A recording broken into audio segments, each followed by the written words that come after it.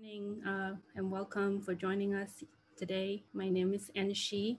I'm the Associate Curator at the Houston Asian American Archive, which is managed by Chao Center for Asian Studies at Rice University. We're delighted to have you with us today, and I'd like to welcome our artist Rachel Gonzales for her artist talk on her solo exhibition at the Fondren Library at Rice University, Portal of Healing. It is on view till next Friday, January 31st, and please reserve a time to visit this exhibition as we manage for social distance concerns. Um, I'll put the reservation link in our chat shortly, um, or if you would like to um, see the exhibition uh, virtually, you can also uh, view the walkthrough on our YouTube. Um, so I'd like to thank our artists, Rachel and to Wei Huan Chen and Jenna Maravilla and all the poets who answered the open call we casted in November and contributed as the collaborators in this work. And um, I would like to thank our narrators and participants in the HAA community. Um, your open sharing with intimacy and thoughtful quotes really filled the space with emotions and wisdom. So thank you very much. Um, and I particularly want to thank Dr. Anne Chao the founder and project manager of HAA, um, who is my dear friend and mentor for making this exhibition possible. And thank you to all of you who are, um, who are here. Um, so the structure of the program today will be a 30 minute talk by our artist, Rachel, and we're going to discuss following her talk um, among ourselves and with our audience. So please, um, everyone is welcome to put their questions into the Q&A box as we go. Um, so to start, I would like to share that um, how uh, we named this title, uh, the talk, We Will Cross the Bridge Together, which is a quote from the artist's late father, Jose Gonzales, um, who has been um, inscribed by the artist in this work as a way to metaphor the crossing of 2020 to 2021 to symbolize the crossing of life and death. And for those of us who suffered and experienced this pandemic in our own individual ways. Um, now I'll briefly introduce our artist, uh, who is also our uh, Rice alum as Rachel graduated with Bachelor in Architecture in 2010.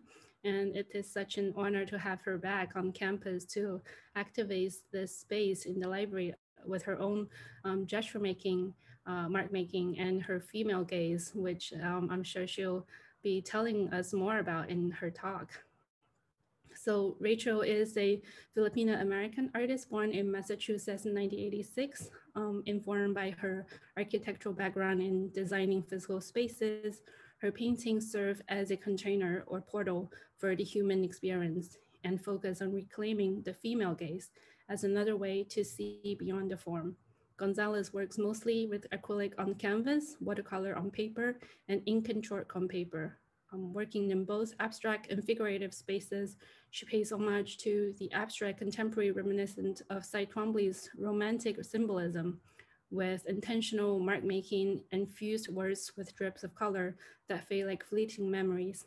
Her figurative works capture the essence of a person and the uh, subject instilled with a gaze of their own. Um, so Rachel, please take us on a journey with you um, and please take it away. All right. Um, can you see me? Thank you for having me, Ann, and for that introduction. Can you hear me well? All right. So with the work that Houston Asian American Archives does is they transcribe oral um, stories from people. And I was very moved by that vision. So in most art talks, I focus on the work. In this particular one, in the spirit of the Houston Asian American Archives, I thought it would be, um, I felt called to share a little bit about my own story as a human and as artist. And sometimes people ask about um, how long it takes to create a work of art or um, I don't know if that's why, if I don't know if that's people trying to, to understand the work, but um, for this particular piece, it, it would have taken lifetimes because um, the work that went into here are people's lived stories, people's lived experiences. Uh, even though I sat with it for, let's say, two and a half months, it does carry this element of time and thread between several lived experiences from past, um, present, and future. So I'm going to take you to my own personal past and how I grew up when I uh, lived in Massachusetts. So um, welcome to my talk and welcome to my story. Okay. Portal of Healing, we will cross the bridge together. So we will cross the bridge together. This is something that my father used to say. Uh, we used to, me and my older sister would tease him a lot. We are like, no, it's we cross the bridge when we get there. He goes, oh, we will cross the bridge together. And, you know, that's really stuck with me because when you reflect on that saying, I find it more comforting to know that I'm not alone in my anxiety or my my feelings of grief. And we cross the bridge together means that I'm not alone. Um, people are with me. And I find that my father's take on that popular phrase to be more moving, and it means more to me in terms of um, the collective grief that we've experienced last year and in terms of just knowing that whatever you're going through, you're not alone in it. So this is when I was six months old in Massachusetts. My father was kind of a maternal figure to me. He was the one that took care of me when I was small and he would take me to school, all those things. And in Filipino, we have, in Philippines, we have a word for this, it's malambing. Malambing is means you're so affectionate, very warm, very tender. So this is um, the energy that my father instilled in my childhood. And this is my mom. So the reason why my father uh, took care of me is because my mom was the one who was working most um, most of the time when I was small. I didn't even know my mother until later in life because I rarely saw her. And in the Philippines, uh, there was this huge wave of migration because there was a demand for nurses. And this is a photo of her in her nurse's hat when she graduated um, at the age of 22. And when they settled in Massachusetts, that's uh, when I was born and they had me. It was a very simple life. And when I was little, I loved to read and write stories. And my older sister was left behind in the Philippines. So I kind of create my own world through stories and writing since I was always with adults, um, people not my age. However, because my mom worked a lot, I it took a village to raise me. When I was two weeks old, uh, this man on the left, he saw me as a baby sitting on his living room couch and he goes uh, to his wife on the right, he goes, Nina, what, what is this baby doing here? She goes, oh, this woman, she works a lot and, you know, they need help. I thought we could, we could take care of her, you know, we'll see, we'll take care of her for a week and see how it goes. Well, they fell in love with me and ended up taking care of me until I moved here to Houston. And I spent a lot of time at the beach. This is in Salisbury Beach, Massachusetts. And that's Danny, my godfather. He was also a father figure. And he would take me back to uh, my, my mom and dad's house, maybe at like midnight, since her, her shifts were very long at the hospital. And my dad was trying to start a business, but it kept failing. My godmother is uh, pictured on the right with her famous Greek cookies. So she's of Greek Italian descent, and Danny is uh, French American. And they actually loved me so much that they adopted two other boys. One's from El Salvador, and the other one is half Korean American. And we used to joke because it was like a United Colors of Benetton ad, so much diversity whenever we would go around. And I think this is part of the reason why I thrive in, in uh, environments that are very culturally rich I feel weird if everyone is all the same. This is my first school photo from pre-K. And this is when I idolized my Greek godmother so much. She was a hairdresser, so I cut my own hair. I wanted to be like her. And the school was not thought that was, you know, we need to hide this awful kid's haircut. Why don't we make her turn sideways? So while all the other kids got to face forward for their first photo, I had to turn sideways.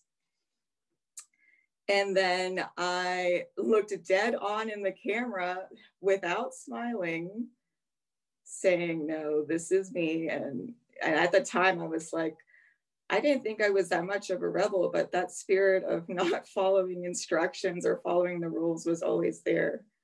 And I'm also wearing boys' clothing in this image because my mother thought that girls' clothing was too restrictive and the boys' wear is more comfortable. So I um, am proudly wearing this outfit while my Greek godmother said, no, she needs to be more girly. So she painted my nails red.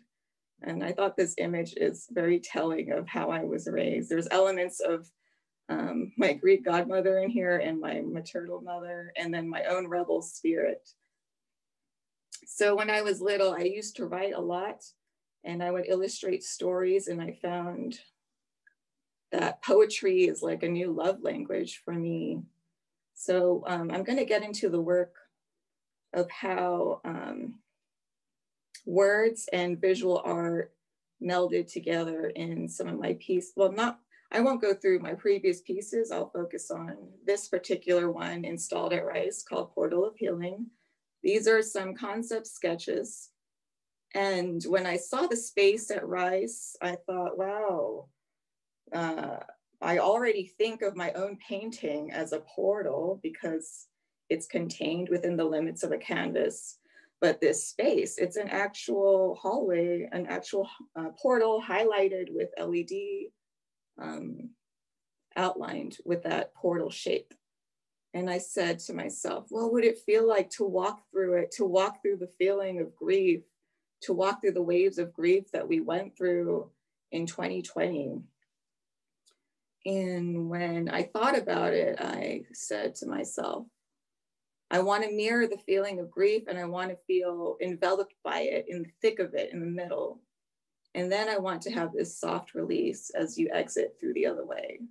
And I thought, let's mirror it on both sides since um, people might enter from either way. In this pencil sketch, I wrote, sometimes the river is the bridge. And I thought about walking through this body of water. What if it was inverted? What if it was upside down?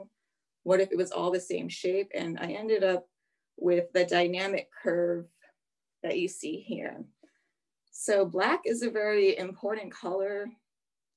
Some people think, oh, you use black and white, there's no color, but black is very intentional. I find black to be a very, hmm, I would say it's very protective. It can hold space for all ranges of emotions and black absorbs everything around it.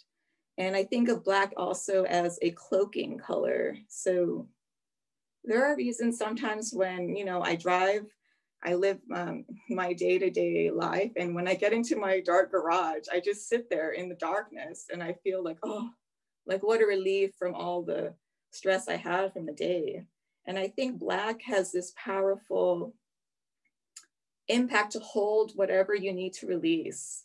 It's a place of, um, it's a, it's the emptiness that can hold whatever needs to be held. And in the negative and positive space, I wanted to have the raw canvas be um, exposed as well. This is where we get to applying the, my tiny sketch onto this seven foot tall, uh, and I would say five panels, 30 foot wide. And there are four of them. And so I, I started with brushes and I'm like, my brushes are not big enough. Um, we, I need mops, I need brooms, I need anything that can hold paint. So I found uh, different textures. I played with them. And I also had to weigh down the way down the material because the wind kept blowing away. So in a way, I snuck into this outdoor area outside my studio and I, I found a pile of bricks laying there.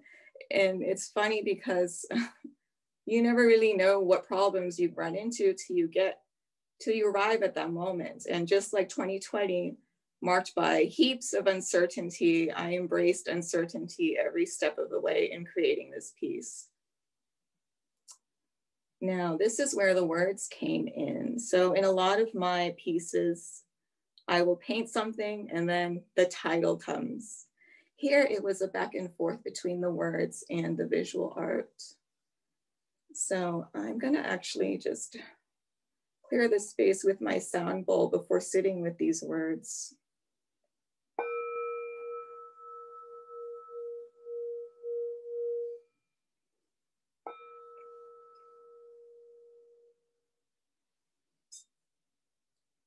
one. All this year, I thought I was the strong one, was above hitting rock bottom until rock bottom hit me, leveled me to the ground. On the mornings I wake without crying, I peer inside at what pain has opened up and wonder what beautiful thing will be put together from the wreckage. Two, what I look forward to most is the opportunity to once again see a stranger smile. That was written by Wei Huan Chen. And the next poem by Jenna Maravilla. Excerpt from an affirmation, a call upon me. I must choose to pour the crystalline water into my own roots and soil, bathe in sunlight of my own making, reminding myself of my gentleness, of my wholeness, of my birthright, my morning, my newness, and my might. So these two poems were actually submitted in an open call for submissions and the one on the left was uh, specifically made for this piece. So when it was submitted to me via email, I wrote the words down in my own journal. Journaling is a huge part of my process of just existing in this world. And I sat with the words in my book, writing them over and over again, sitting with them. And some words spoke to me in the sense that they were heavier, and some were lighter and more encouraging. So I was very intentional in weaving that throughout the piece and where they land on the page. And these are a few words of my own. So in the bottom, we have what my father used to say, we will cross the bridge together. And then on the left and right says, I want to live shamelessly, mischievously, and infectiously awake. Live awake. And this is by my late friend Vivian Ziwei Guan, who was also an architecture student at Rice.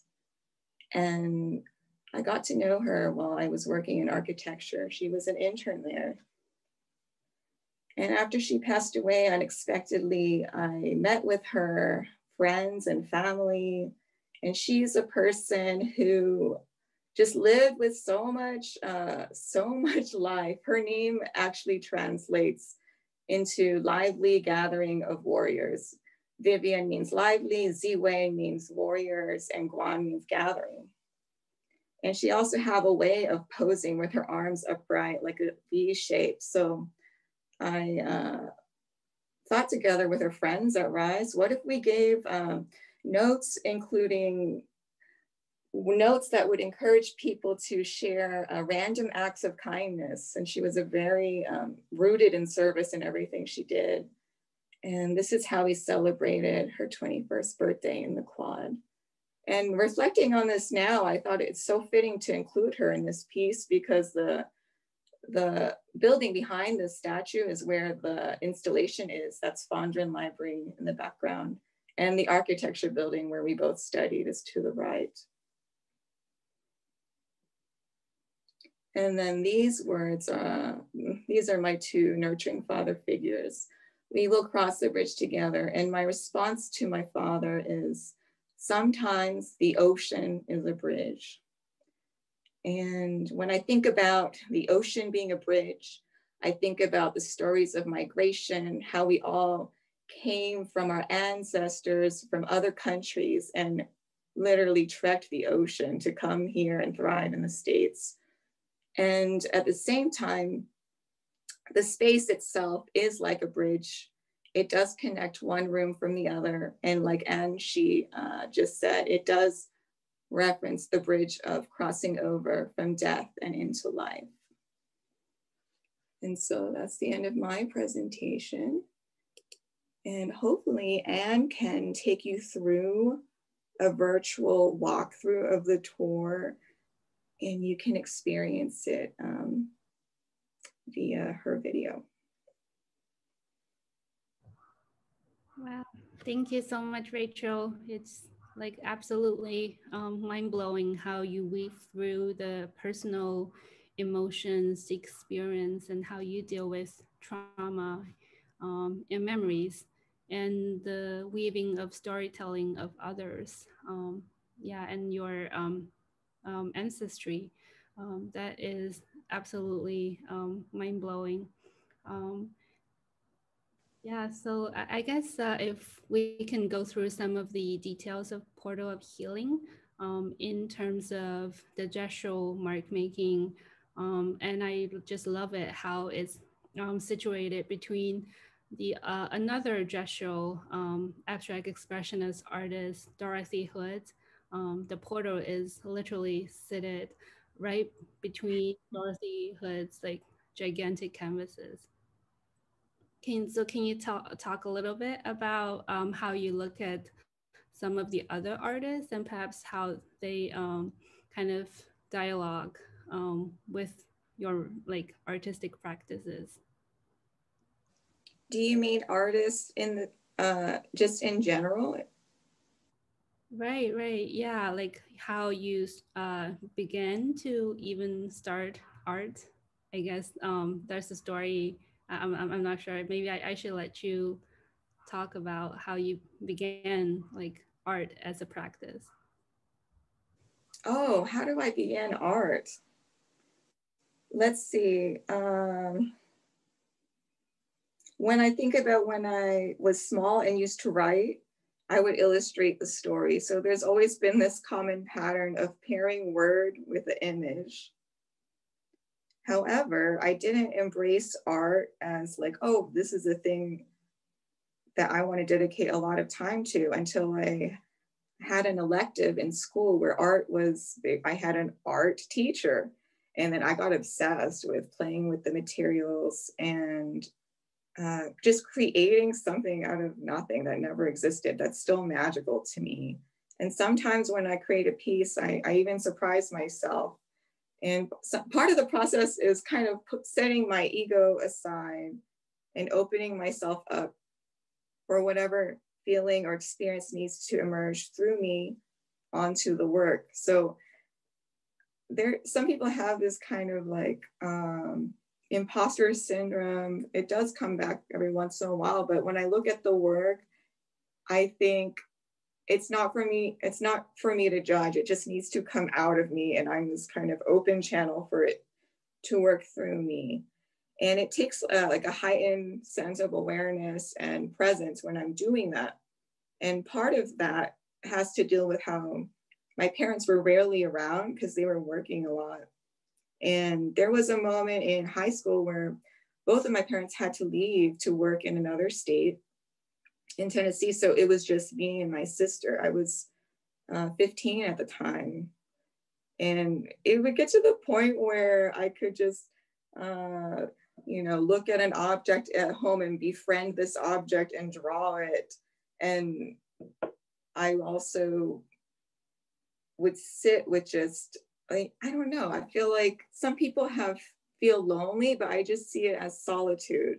Like i'm actually comfortable being in solitude and um, it's kind of a form of prayer or meditation. Whatever you in life grounds you or centers you. And i think that's what art is for me. It's not a hobby anymore. It's become this kind of practice that keeps me sane and it's even a greater gift if I'm able to share the work and be a voice for stories that are not uh, told. I feel called to do that as well in some in a lot of my work. And with this particular piece, because I have lost my father and um, my Greek grandmother and Vivian, I have access to grief and what it feels like to lose someone really close, which is what a lot of people have been going through this past year. Yeah, absolutely. It's um, an amazing collective portal for um, human experiences, as you call it, the container. Um, and uh, yeah, it's also amazing that you coming from a background of architecture. How do you find this intersection of architecture and art, and how does it inform about your art making? That's a good question because the reason why I even thought about architecture was because I was in a high school uh, art class and I saw a documentary on a Vietnamese American architecture student. She's a grad student at Yale and her name is Maya Lin. And Maya Lin uh, won unanimously the Vietnam Memorial competition.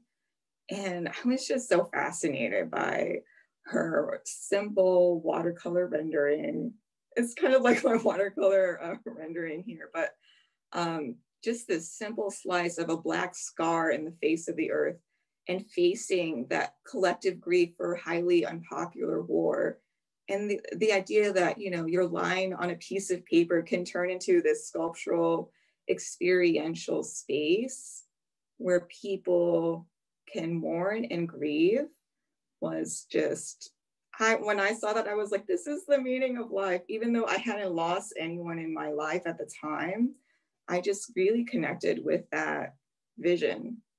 And so a lot of maybe I did architecture when I really wanted to be a large scale artist. And I think it's very um, fulfilling to be able to install this piece because it does carry that large scale. When you walk through it, it's like you're walking into a painting it, it becomes uh, a space that envelops you. Yeah, that's so beautiful. Um, and next time, I, am thinking with your discovery of using mop, uh, or it's more like a sponge, and that that possess that kind of quality of flooding on the canvas, and it also dries out, so it creates that kind of twist and and like like um yeah like bombarding of different types of energies and and brushstrokes. Um can you talk a little bit about how like unusual um this mark making and how you discover and try to um like and experiment with different types of tools? Sure. So on a smaller scale um, sometimes when I use a brush, I'm not satisfied with the stroke of it. So I will even use a knife, a sponge, a smaller sponge, uh, different textures of uh, rubber shapes, like one's a zigzag so I can scrape lines and sometimes my hands. And if you've ever been to the Cy Twombly Museum, you could see moments where Cy just goes like this across the canvas. And I was like, oh, I want to know what it feels like. What was he going through? So I, I put this whole uh, big canvas and I was just doing that too. And that, I think when I look at work, I, I kind of think, how do they do that? He had to sit on someone's shoulders and, and make this wide scribble on a on a huge scale of um, canvas. So I I find that part of letting uh, the energy work through me is using my whole body. And with this scale of the piece, there's no way that I could have done it by just doing little wrist movements like this. I needed something big, something to hold all of that and also be able to see what I'm making from a far away enough uh, perspective to see what's going on. So I'm like, okay, broom or mop? Uh, I like this particular uh, smooth surface sponge, it's the most simple one because when I lift and I press, it does have this kind of uh, luminosity. It's not all flat and it's not all one thing. So I could control the pressure best with this tool. And if I had more time, who knows, but like there, the play of mark making and stroke is a huge part of my creative process. And then when it comes to the line weight of the words, so I didn't know what words will be submitted. The first one I did was my father, we will cross the bridge together. So I use a really thick oil stick because I think, uh, this is good to write with really big, but some of the words were very long, they were whole quotes. And I said, oh no, oil stick, not gonna work. Let's go back to like fine pencil. And on the raw canvas, it was kind of hard to make it legible in the areas that are on the raw canvas. So I really have to move the painting to the floor, a smoother wall. I was playing with what works best. And um, I wanted to for it to be legible because people actually submitted these. But sometimes when I do my own words or my own poetry, I will scribble it out. Sometimes I'm like, oh, that's too vulnerable. I don't want people to read that part. But I thought it's important for it to be legible in this piece. Yeah, it's absolutely amazing how the different, um, like the uh, brushstrokes and the uh, scribbles, as you call it, like kind of interact with one another in their variety of um, like um, mark making.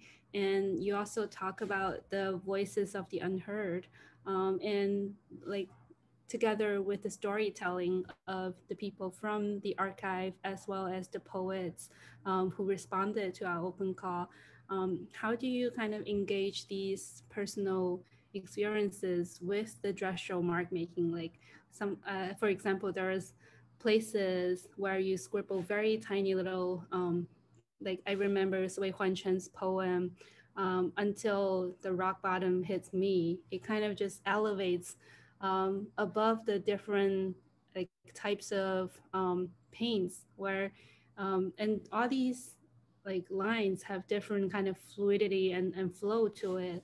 Um, and just curious like what's your um, creative process and decision making in placing in the kind of different strokes that you use to um, yeah decide on which one to go kind of take which form yeah can you talk about that that's a good question. When I think about walking through this space, uh, the wave is kind of coming from the floor, going up, and you keep walking down the hallway, and then there's this release. So when I read the poem or when I read the quote, uh, part of it is kind of heavy, like this is what it feels like on the inside. How's it looking like on the other side? Oh, that belongs in an area where you feel like the world is crumbling on you. And so I will find a section of that painting where there's a tiny bit of white space and black all around it. And then with Wei's poem, uh, I thought I was the strong one above everything. So of course, we're not going to put those words on the down there. We're going to put it up there because uh, it's this feeling of uh, I, am good. I'm, I'm a good. I'm, I'm avoiding what I don't want to process right now, right before the fall. And when the fall, and then there's a question: what can, what beautiful thing will be built from the wreckage? I want the wreckage to come after those words. So there are very intentional places there. And with Vivian's um, because she poses like this in a lot of her photos that I have of her. I like this one stroke that does this, this kind of movement that's very lifting, just like her spirit. And it says, live awake. And it's a proud white, uh, it's white line pencil on top of the black streak, which I thought, you know, even though she's not here in the physical realm, she still inspires me and guides me. And her spirit still live through me. Absolutely. And the words that are of hope, like uh, Jenna's poem, I'm like, oh, this belief, this needs to be in like the lighter area after you walk through. So this is how I would like people. I can't control people how they experience, but I when you walk into the space, I want you to be confronted with Wei Huan Chen's poem on the left side of being, I felt like I was above everything and then it came down. Now I want to see a stranger smile at the very end of the hallway. This is on your left side. When you go at the end of the hallway, at the end of his poem, Jenna's poem is on the other side. And it's all about healing, owning your mourning, or owning your story of um, your birthright to exist in the world and being kind to yourself. So I do have that kind of linear way of moving through the space. And then the very, and then we have Kamala's, Kamala Harris's words about we're in this together. There is no myth of us between them. And then we have our first leader of rice, uh, Yiping Sun saying life goes on, things that are more encouraging. Yeah, absolutely. And also seeing some of the very kind of um, landscape like brushstrokes. And then some of the words almost feel like they're coming out from the cracks of the rocks. That was absolutely um, amazing. Um, and also, I'm, I'm curious, uh, you call yourself a female and feminist artist that celebrates the female gaze. Can you talk about what female gaze mean to you? So just like my photo when I'm four years old, after I cut my hair and the school photographer says, turn this way.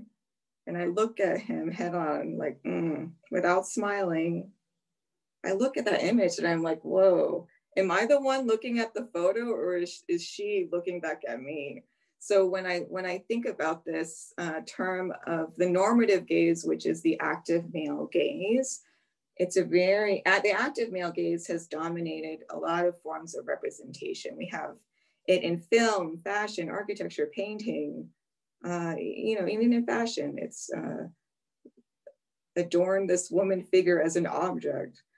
And it's not really about uh, gender per se. I could be a woman with an active male gaze showing a selfie of myself thinking I'm like I don't know, amazing, look at me. Um, I see the female gaze as being more rooted in what you cannot see, what you can feel, what you experience, uh, the quality of the space when you walk into a building versus what does it look like on the outside.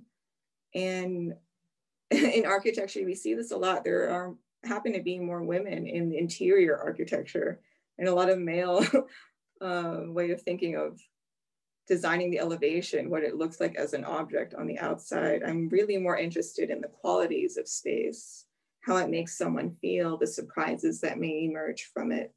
So when we walk through this particular piece, I only use the female gaze as language to counter the active male gaze when in reality, it's more rooted in empathy in intuition and having the openness to have a conversation with the work or whatever you're experiencing instead of this active viewer on a passive object.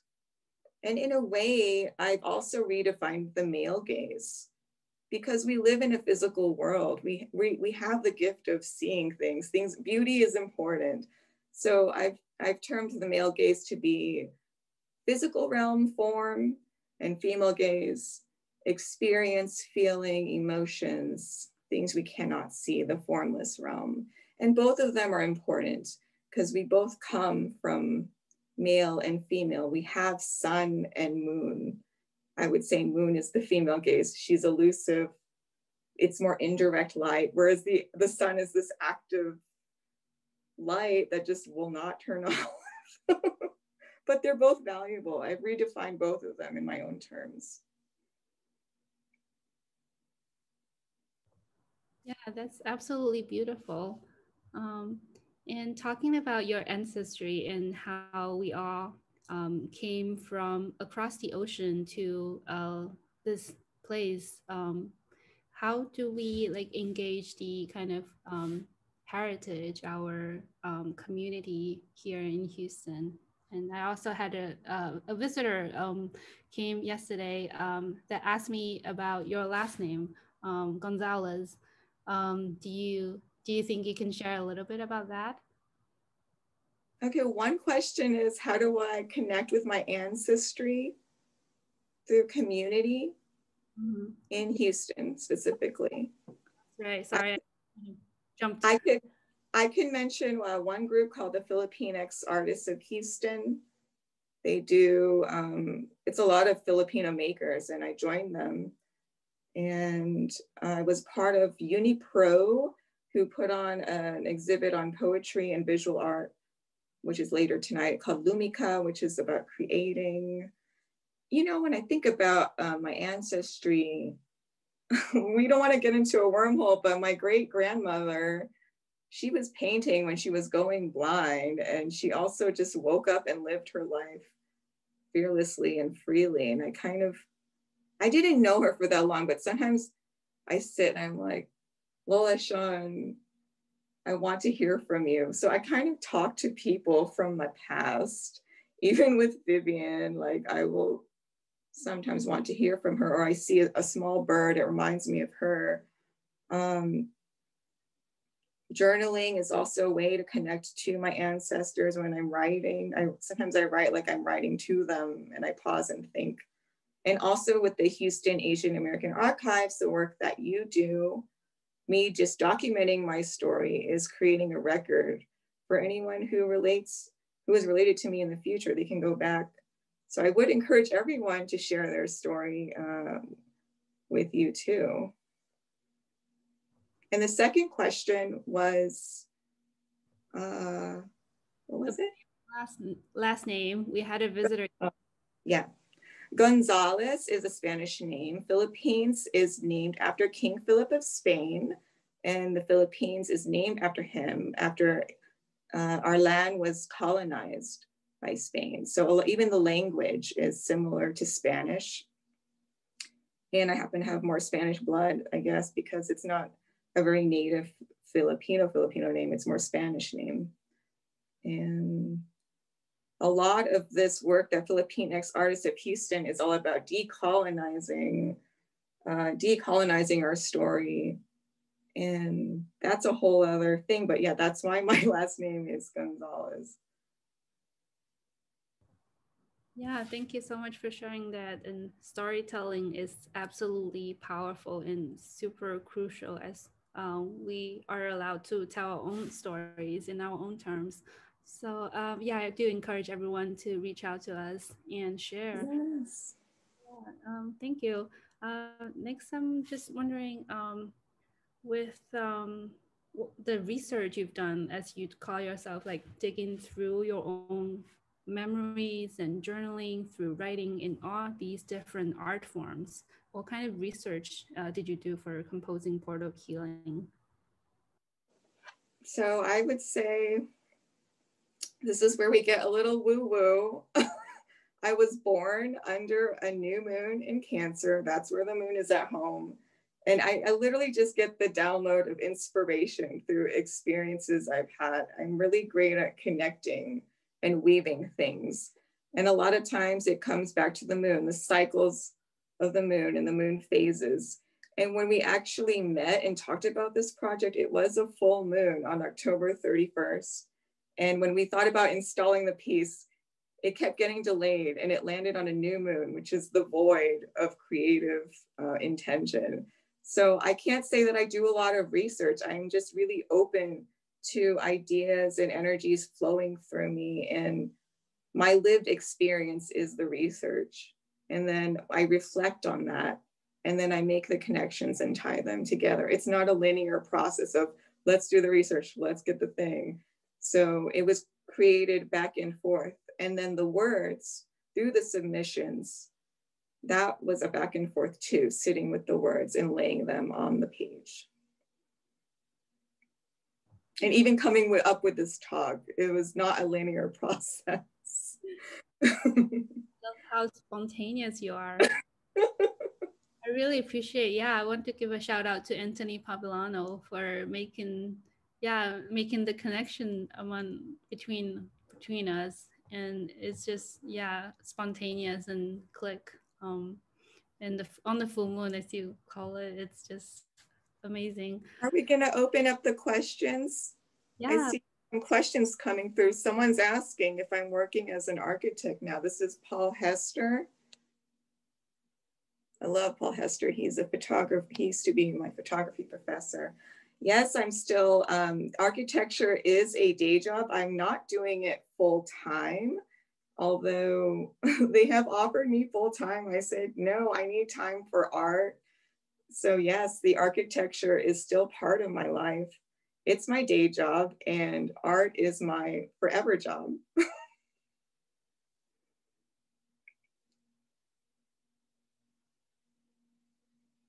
Yes, preserve your forever job. Thank you, Paul. Anthony says, Did you integrate your love of expression through dance?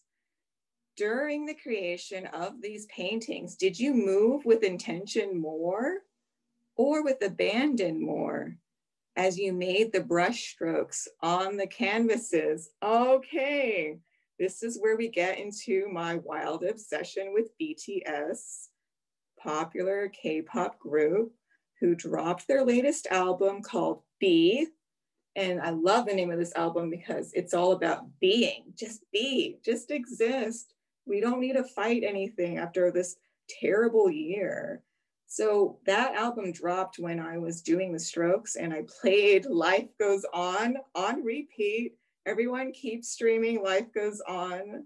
And when I read E Ping Sung's quote, she says, Life goes on. I was like, oh my gosh, I don't even need to sneak in my BTS lyrics in this piece. Someone have already submitted something that connects me to that. So, yes, I was dancing and moving with the strokes. And thank you for asking that.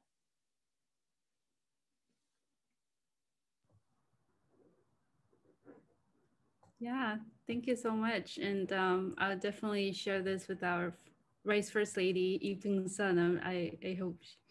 And um, and also, do you uh, think you can talk a little bit, bit about the bridge, which is a concept that I guess architecturally as well as artistically, you were talking about bridging from one end of the tunnel to the other.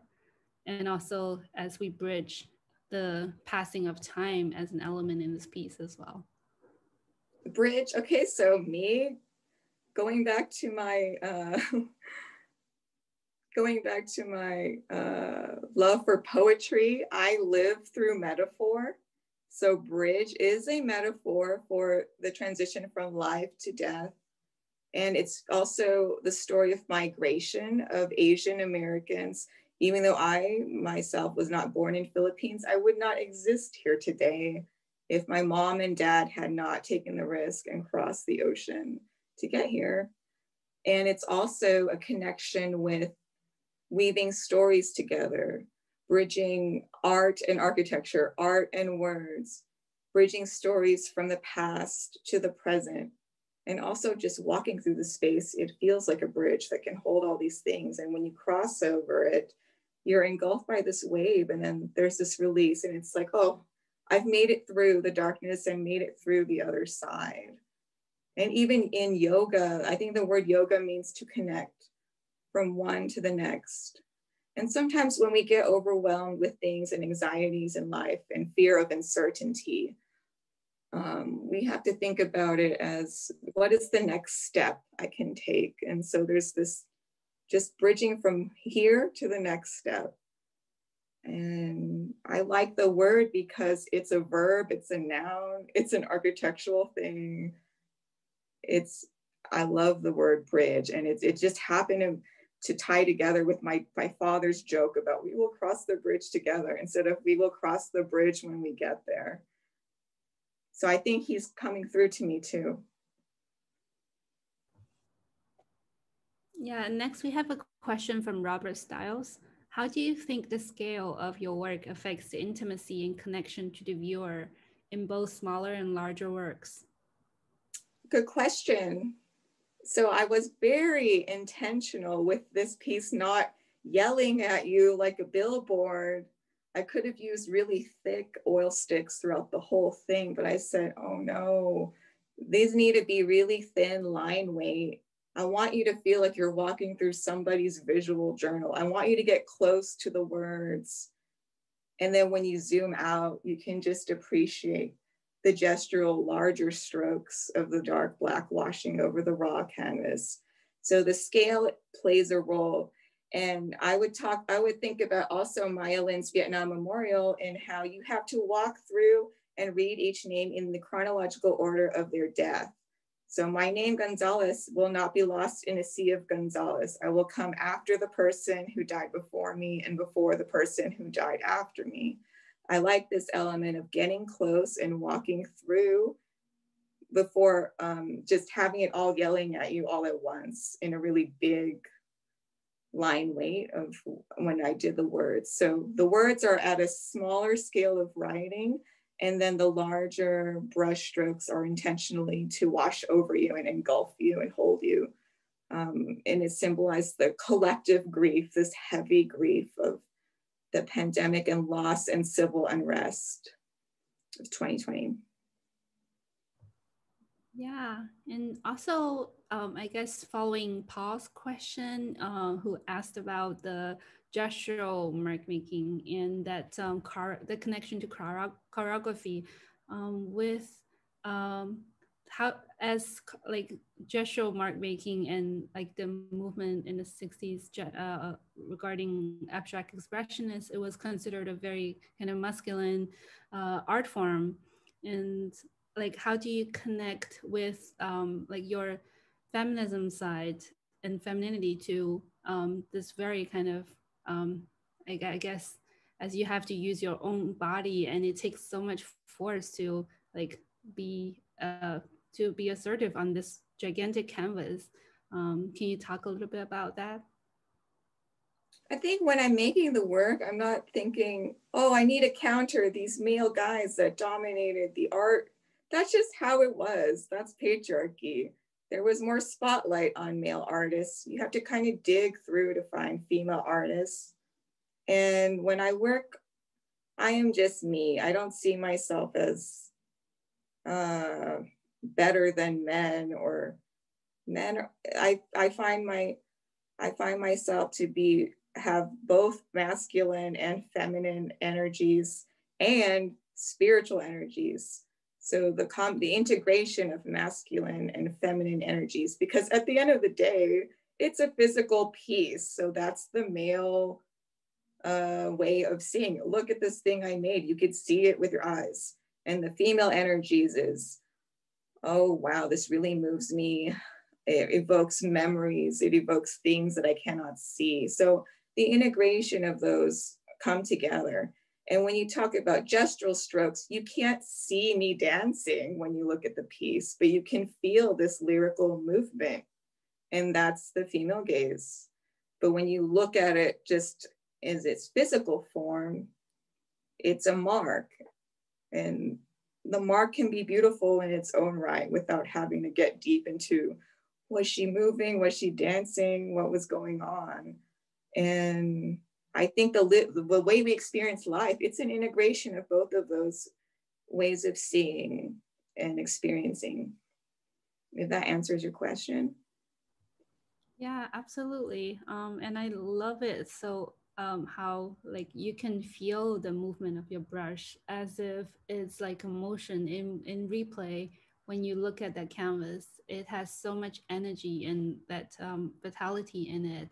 And I also want to mention, um, you sent me this quote uh, by Martha Graham yesterday, the American dancer that you talked about when you were um, trying to um, talk about how to you keep the channel open and how people um, like people's voices, like in the archive or the poetry, speak through you and letting your ego go. Can you talk a little bit about that? Martha Graham, she is the godmother of modern dance. And whenever I feel like I'm not good enough or why am I making this? Who am I to do this? I return to her words of saying, there is a vitality, a force that must work through you. It is not for you to judge the work, it's for you to keep the channel open because there is only one of you in this world. And without you, it would not exist and others will not have it and I reflect on that. And when I make this piece, I show up not for myself, but for these stories to be told and be received by others. So, in a sense, yes, I take ownership for like the project, the concept, but there's this other element that keeps me going. And it's being a voice for other stories to be told. We're, we're as artists, we're not meant to be create in a vacuum. Uh, I think art should live and breathe in the public realm. And whether it's good or not, I would rather people not like me than everyone like me. if what I'm putting out there is like truth. I could paint happy, pretty things that sell easily. But this is truth. We can't hide from the waves of grief that we go through. And I think I really value just being honest with the work. It doesn't have to be good or bad, it just has to be honest. Yeah, that is so powerful. Um, and I actually got uh, this question from um, Catherine Shen yesterday, who is one of the volunteers and consultant of the Houston Asian American Archive. Um, as a part-time artist with a career in architecture, what are some of the challenges in trying to balance your other career and your artistic career? The challenges, there are not, I, there's only one of me. Um, I don't think there is really. Um, we like to get be more balanced, but it's this kind of life isn't always in balance. We move with. Oh well, there's one thing. I have figured out a way to structure my life that allows me more flexibility in how I structure my days. So I don't have a full time job, and I have amazing people that support my art practice that understand, like, oh, I need to install this piece. I'll be in a little bit later today. And their understanding of that. So living with this conviction and, and being boundary, being boundaried with my time. Uh, it was very challenging when I tried to study to be architect and it was really depressing actually because I wasn't able to have fun or do anything. I was just studying and studying. But I learned that people respect my time when I tell them that I'm studying. They leave me alone. Family event, oh, she's studying, she can't come. And I was like, you know what? I need to be like this with my art. I'm painting, leave me alone. so it's really about being boundary with your time. And the way to focus on things is not about saying yes to the thing you want. It's about saying no to the other things because all these other things will come and you have to say no to them because saying no to them is saying yes to the thing you really want. Yeah, I totally agree with that a hundred percent. Like, yeah, being able to say no is not easy, and um, we all have to learn. Um, and next time, just wondering, can you share with us some of the work that you're doing now and coming up next? Oh, I'm resting after this. it took a lot out of me, and I go through cycles of making and being. As artists, we cannot constantly keep creating and generating content over and over. So I think as artists, it's very important for me to create work that's just for me. And this is what the next period will be just for me, just work for me. Maybe I don't even need to share it, it's just for me. And that's what I feel called to next. Yeah, thank you so much. Um, mm-hmm. I guess as we're coming up to the hour, um, I would just like to close the talk by once again quoting from Rachel's response to her late father saying, Sometimes the ocean is a bridge, and the way the ocean means for so many of us in terms of how we, um, many of us as immigrants, come into um, either as Asian American, Black American, Latino American, we all arrive in this country by crossing that ocean. Um, and by crossing the ocean, we're allowing ourselves to open up to new possibilities and lives and, um, and allow our, ourselves to heal in 2021. Um, so thank you all for joining us. Um, this concludes the talk today. Thank you, Ann. Thank you for everyone for tuning in. I appreciate your questions, your curiosity, and support. I have a question, Rach. Yes. It's Ella. it's your. That's my older sister. So, what would you recommend? Because you know how like everything, as as uh, when you look at something, sometimes you have your internal kind of music as well, just Yeah. to kind of heighten the experience. What would you recommend if somebody was going through this? Um, what music do you think would go with this experience? Definitely something without lyrics. Oh yeah. Uh, I'm pulling from like classical piano. I love the romantic period. Maybe some Liszt, maybe some Chopin. I would say Chopin because there's no structure. Yes.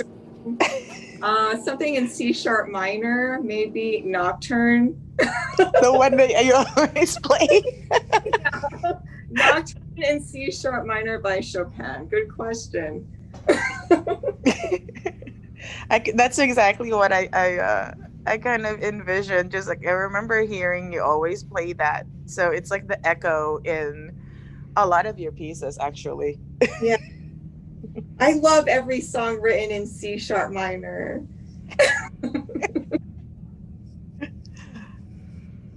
I'm the type of person when I feel sad, I want to listen to something to make me feel more sad. but there's a lot of hope in that song. It's very fluttery in some parts. Yeah. My sister is also an artist, by the way. and I, I think about it a lot. Our parents sacrificed a lot. They had to do the job that paid so we can have the time to explore things that we love to do, which is creating. No, I think we always come from a very artistic, rounded family, and it all comes out in different ways. Yes. you know I, I think like our ma is always like every time she looks at your pieces or my pieces she's like oh it's like me painting Yes. it's coming out with you guys or something I think mommy has a better eye because sometimes she looks at abstract piece of mine and goes, "Oh, Rachel, I love it. It's you and me eating dinner." And I'm like, "Where do you see that?" Her imagination is very open, perceptive. This is Matt Manalo's submission "Cry," and I wrote "Cry" all over the place. oh man, this this piece took a lot out of me. Oh wow. Thank you for tuning in, Ate. I love you. yeah i think it's interesting that because you have a very um your penmanship is very specific you know like I, I know we've spent a lot of time even with that like late nights and just writing names you know and in and in this piece uh obviously the the smaller marks definitely reflect your regular handwriting but then there's some that are wilder that shows i guess more of a um explosive feelings i guess or uh, i don't know like how it changes just because whether it's intentional or maybe it's just here's the feeling of this word or what i want you to feel emotionally with this with with this words For sure. And the challenge of writing, I don't recommend writing on raw canvas with graphite. It's very frustrating. But some of the words were like, this is how it feels on the inside. So I just like went went wild with that one. And that's by Kevin Trinidad. He's a, a musical songwriter, singer-songwriter. Hmm. And it was like channeling channeling his sound also as an artist. I tried to respect uh, the words and making them legible, but we, he's a really good friend of mine, so I thought he wouldn't mind if I scribbled on his a little bit more. That's his, the one we're looking at right now. This is how it feels on the inside. How's it looking on the other side? Yeah, there are two places with Kevin's handwriting, right? I think there's uh, across the canvas on the other side. Um, Yeah. Yeah. This piece almost actually it reminds me there was another piece oh gosh, it was like I was still in school, and it was an, a, a, a similar installation. I think it was in this in the um, Contemporary Arts Museum at the mm. CAM, mm. but it was like huge raw canvases mm-hmm. also, but the artist did just like pencil strokes, or maybe like a thicker, you know, graphite pencil, but it was but it wasn't words, but it was just like circle scribbles all across, like repetitive. um It's a, of, maybe a, med- a meditation. Yeah, yeah, I don't remember who the artist, was, but the, like it kind of um reminded me of that also. Just kind of like right. I don't know, a release of like uh, thoughts, I guess. That's the black. I think the black is the release of thoughts and feelings. Yeah. But when writing the words, I have to be more present and be like, okay, don't yeah. don't too far like that. and I'm a lefty, so it's kind of challenging. I don't want to smudge when I write too. Uh, this is kind of like the words are kind of like the male gaze because you can read it, you can mm-hmm. see it clearly, and then the black strokes are like the female gaze because it doesn't look like anything at all. It's not representing an actual physical thing. It's just a feeling. It's emotional flooding. When I walked into the space and I saw those two Dorothy Hood paintings, I just, I literally screamed. I was the loudest person in a library.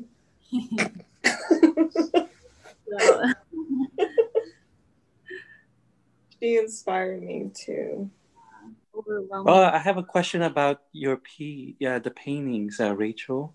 Yes. So you know, you know, you know, you you had you know your sketches, but the final seeing the final piece, how um, sort of it it's kind of like a curve, you know, it rises up and then rises back down. Yes. Is there a m- metaphor, symbology that you're trying to convey with that rise and then that uh, as you you know exit the space, it you know it goes down. There's yeah. that peak, that rise, and then the, the descent afterwards. I like the words you use. Uh, you said the word peak. It could look like a mountain. Yeah. And I got your message, talk later. Um, and it could be a wave of grief. Mm. And it can also be the dead of winter. When we think about seasons and seasons of uh, darkness and death, like this is when I painted the piece. It was right after Halloween. That's the end of fall.